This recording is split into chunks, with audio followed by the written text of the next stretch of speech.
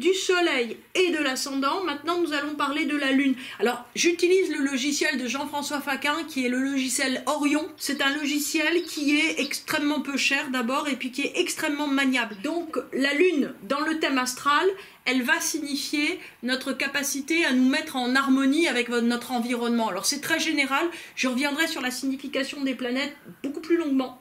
Mais je voulais finir de parler tout simplement de la structuration du thème natal. Donc la structuration du thème natal, c'est la roue des signes qui va signifier, euh, on va dire, le terreau et la manière de réaction et la manière euh, selon lequel, on va dire, les planètes réagissent. C'est un petit peu comme une tonalité musicale, vous voyez, c'est-à-dire que si on dit qu'est-ce qui est le mieux, par exemple, entre Do majeur et Ré mineur, ben, en fait, ça va dépendre de vos goûts. Par exemple, quand on me pose la question, mais est-ce que c'est bien d'avoir un Mercure en Capricorne ou est-ce que c'est mieux d'avoir un Mercure en Scorpion? Tout de suite ma réaction, elle est, elle est similaire. Je réponds, mais je comprends pas la question en fait. C'est-à-dire, c'est quoi le, mieux? Do majeur ou Ré mineur? Si mineur ou Do dièse majeur? C'est quoi le mieux? Il n'y a rien de mieux. Chaque signe du zodiaque est une tonalité. Donc, cette tonalité, pour revenir à la roue des maisons, donc si vous voulez, il y a la tonalité donc de chaque, effectivement, de chaque signe. Et ensuite de ça, il y a la tonalité, alors c'est pas la tonalité, il y a la roue des maisons qui sont 12 cases. Il y a donc 12 signes du zodiaque, il y a 12 maisons. Les maisons sont le champ d'expérience des signes du zodiaque. Donc ce qui signifie très concrètement que l'astrologie vous permet à la fois de comprendre votre psychologie, mais tout à fait également les événements qui vont vous arriver. C'est-à-dire que ces 12 cases, donc la première case commence à l'ascendant, et ensuite de ça, il y en a 12 qu'on peut compter. Donc là, je ne les vois pas très bien parce que je suis à contre-jour, mais en gros, vous, trouverez effectivement les cases. Donc, elles commencent 1, 2, 3, 4, 5, 6, 7, 8, 9, 10, 11, 12. Ces 12 cases, en fait, signifient les 12 champs d'expérience fondamentaux d'une vie de toute vie. Vous me direz, bah, 12 champs d'expérience pour tous les êtres humains, ça fait pas beaucoup. Et eh bien en fait si, parce que les champs d'expérience sont assez limités la plupart des, enfin c'est pas la plupart des gens, tous autant que nous sommes, nous avons besoin d'aller bien, nous avons besoin d'être aimés, nous avons besoin d'avoir de l'argent, nous avons besoin d'avoir un métier ou quelque chose à faire, nous avons besoin d'avoir du relationnel, nous avons besoin d'avoir des valeurs, nous avons besoin d'avoir une ouverture vers le spirituel, nous avons besoin d'avoir une forme de réseau social, nous sommes intéressés par la question du quotidien, mais en fait les êtres humains fonctionnent tous j'allais dire, selon la même manière, et il nous arrive tous à peu près la même chose. Hein. Et, donc, si vous voulez, dans ces 12 cases, il peut y avoir des variations. Mais ceci dit, si vous voulez, globalement, nous avons 12 domaines de champ d'expérience. Donc, pour un astrologue un peu expérimenté, euh, vous avez avec assez de facilité de savoir quels vont être les domaines clés dans votre existence et comment vous allez pouvoir effectivement vous déployer. Donc, nous avons 12 signes du zodiaque qui sont comme 12 tonalités musicales ou 12 couleurs. Nous avons 12 maisons qui sont 12 champs d'expérience, donc j'en parlerai une autre fois. Et nous avons 10 planètes. Donc, ces 10 planètes sont le Soleil, la Lune, Vénus, Mars, Mercure, je crois que j'en ai pas oublié, Neptune, Uranus, Pluton, Jupiter et Saturne que je ne vois pas, que je vois. Donc, nous reparlerons plus tard de, toutes ces planètes. Rappelez-vous simplement que, euh, pour le dire simplement, euh, on croit qu'on est un, c'est-à-dire qu'on croit que nous sommes notre soleil, notre euh, signe du zodiaque. En réalité, non, nous sommes dix. Nous sommes dix planètes. Ces dix planètes vivent et agissent à l'intérieur de nous d'une façon très, très fondamentale puisque chaque planète tire dans une direction. C'est-à-dire que chaque planète a envie de devenir le thème astral en entier. Donc souvent la question, si vous voulez, Howard Saspatas, qui était un très grand astrologue, disait le thème natal est un, est un champ de bataille dans lequel les planètes essayent toutes de s'entretuer. Parce que comme ça, comme je dis souvent à mes élèves, ça a l'air sage, vous voyez un thème du zodiaque, ça a l'air tout gentil sur l'écran ou si vous l'avez imprimé sur une feuille de papier, mais en réalité c'est une lutte fratricide intense puisque les planètes essayent toutes de tuer les autres. C'est-à-dire que si vous avez deux planètes qui s'entendent bien, en fait, elles font affaire pour essayer d'en tuer une troisième.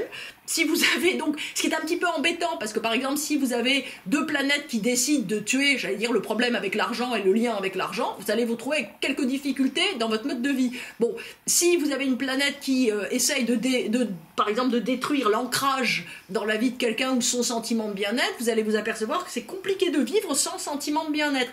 En réalité, nous avons besoin que ces dix planètes à défaut de bien s'entendre, fonctionnent, acceptent en fait de fonctionner ensemble.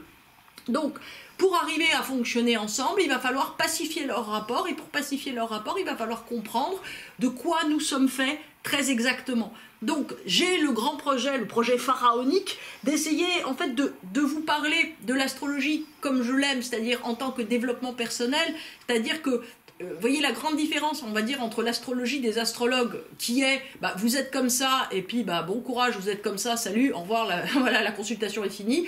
Moi, pour moi, si vous voulez, on vous dit, bah, vous êtes comme ça, et voici votre champ d'expansion, voici comment vous allez déjà pouvoir devenir davantage vous-même et pouvoir profiter, on va dire, du fait d'être vous-même, comprendre comment vous fonctionnez, de telle manière à devenir heureux de ce que vous êtes et à comprendre qu'en fait, oui, ok, vous êtes déterminé. Alors vous êtes déterminé comment? C'est-à-dire que vous préférez peut-être le bleu au violet. C'est-à-dire que vous avez plutôt un Mars là qui est en Capricorne plutôt que dans un autre signe.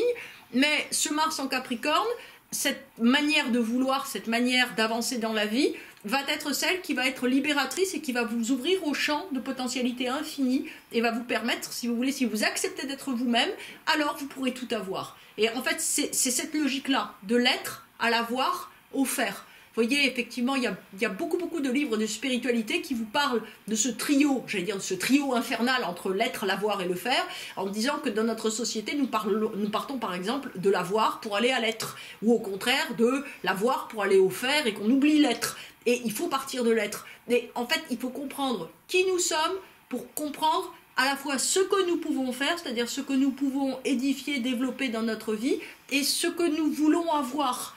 C'est-à-dire que l'idée, si vous voulez, c'est pas tellement ce que nous pouvons avoir, mais ce que nous voulons avoir. Parce que si on vous donne quelque chose que vous ne souhaitez pas, hein, par exemple, imaginons qu'on vous donne, je sais pas moi, euh, euh, par exemple une voiture télécommandée euh, dernier cri ou un drone absolument fabuleux et que vous votre truc bah, c'est plutôt l'aquarelle bah en gros vous regardez le drone en vous demandant si vous allez pouvoir le revendre sur le bon coin pour acheter du matériel aquarelle hein. Voilà c'est tout simple donc en fait, si vous voulez, la question, c'est pas tellement ce que nous pouvons avoir, mais ce que nous voulons avoir dans la vie. C'est-à-dire que vous savez très bien également que très souvent nous sommes confrontés à des situations dans lesquelles nous nous disons mais j'ai tout et je ne suis pas bien. J'ai, je ne suis pas. Ah, bah donc c'est que vous n'avez pas tout. Vous avez quelque chose qui vous convient, qui conviendrait très bien, par exemple à Proserpine, votre voisine d'en face, mais qui vous convient pas du tout à vous. Donc la question, si vous voulez, c'est que l'insatisfaction, selon l'astrologie, par exemple, n'existe pas. Ce qui existe simplement, c'est une méconnaissance entre l'être et l'avoir. C'est-à-dire que si vous développez une vie qui n'est pas une vie qui vous convienne, eh ben vous ne serez jamais heureux.